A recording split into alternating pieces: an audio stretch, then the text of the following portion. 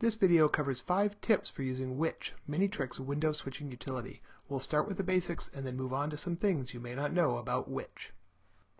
The first thing you need to understand about Witch is how to do basic window switching, and it really is pretty simple.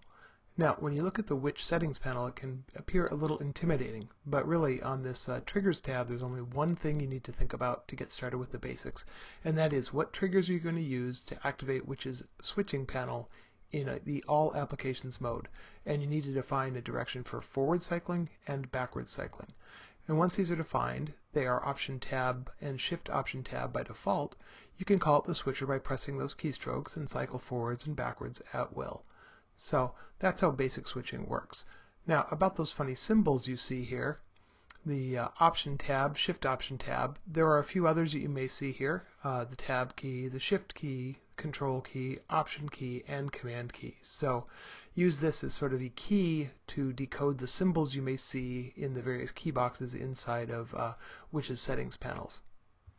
The second thing about Witch that you should understand is it has the ability to set global hotkeys, that is, keys that work even when the Witch switching panel is not on screen. You also do this on the Triggers tab in Witch's uh, settings window, and it's down at the bottom in the section labeled Additional Actions. And once again, there are a lot of choices here. Uh, you may or may not want to activate all of them. I find three of them particularly useful.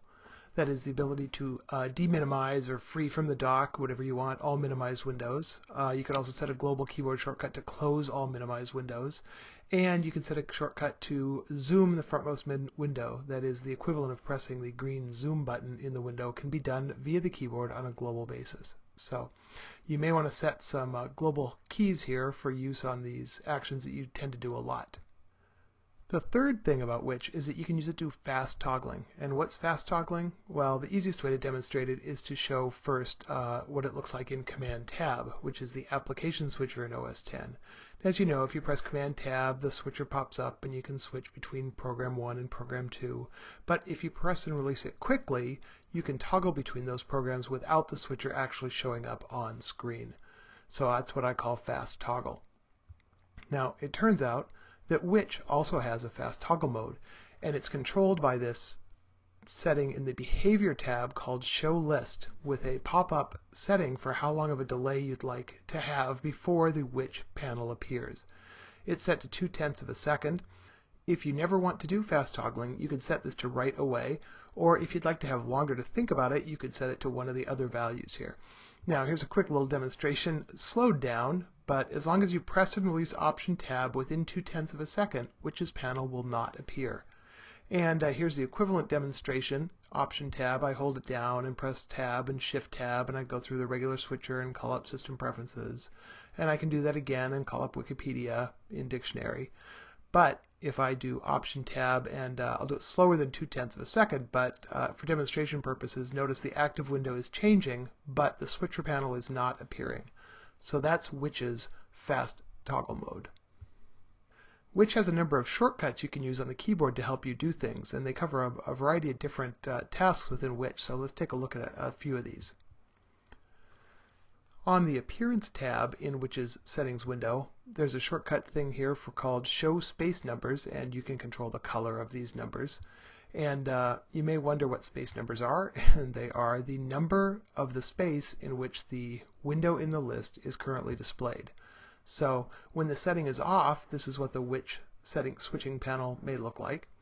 When you click the button one time, what you will see is it turns into a minus sign, not a full check mark.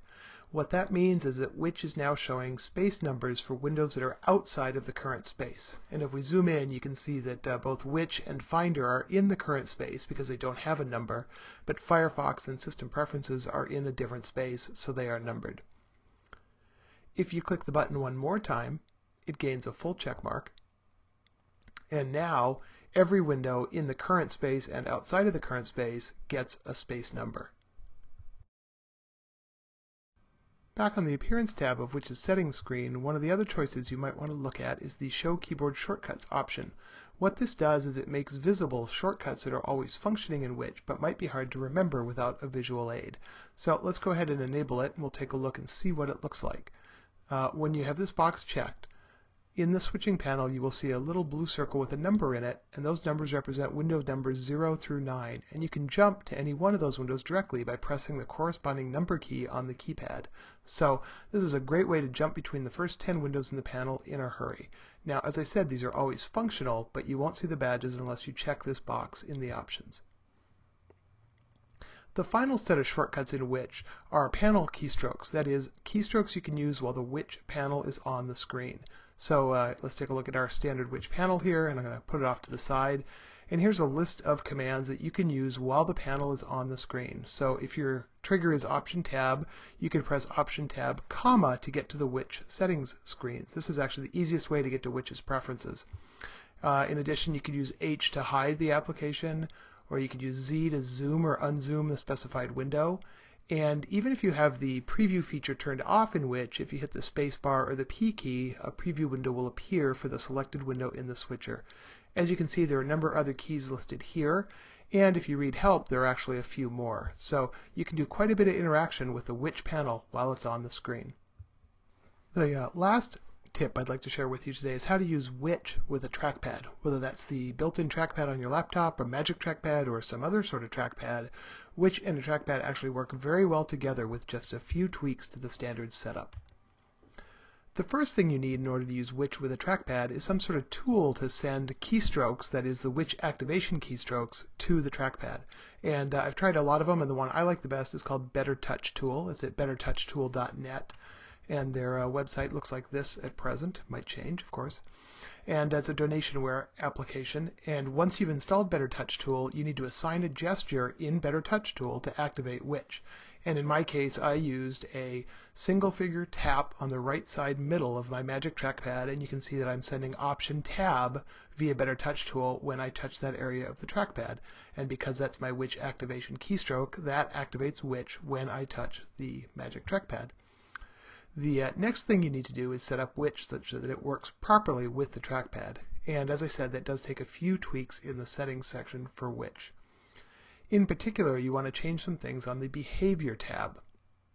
The first choice is that you want to tell Witch to show the list right away. That is, you don't want any delay before the list appears. If you set a delay here, what happens is that Witch ends up working in fast toggle mode because in essence the trackpad records the touch and the release and those both happen before the delay so you will toggle between applications without ever seeing the Witch panel. So for trackpad use, set this to right away. The next thing you will need to do is set a cancel item at the bottom of the Windows list.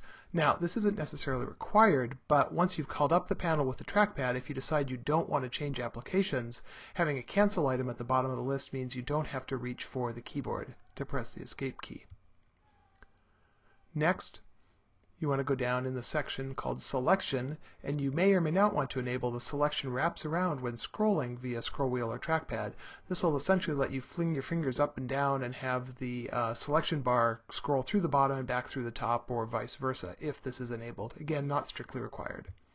Finally, this one is required. Uh, you want to make sure that you uncheck the box that says releasing all modifier keys activates the selected window.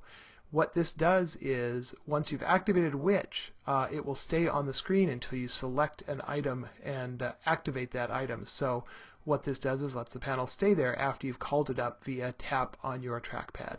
So with those settings in place and Better Touch Tool running, here's how this actually looks in a little split screen video of myself and my MacBook Air's trackpad using Witch. So I'll call it up with my right side finger tap and there it is.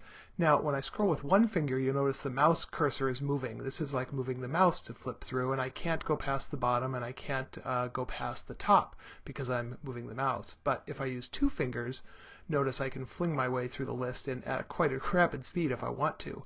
So and then I can cancel by tapping the cancel button. Using Witch with a trackpad really feels natural and it's a great way to take advantage of the multi-touch capabilities in today's trackpads. I hope you've learned something with today's tips on Witch. Until next time, this is Rob Griffiths signing off for Many Tricks.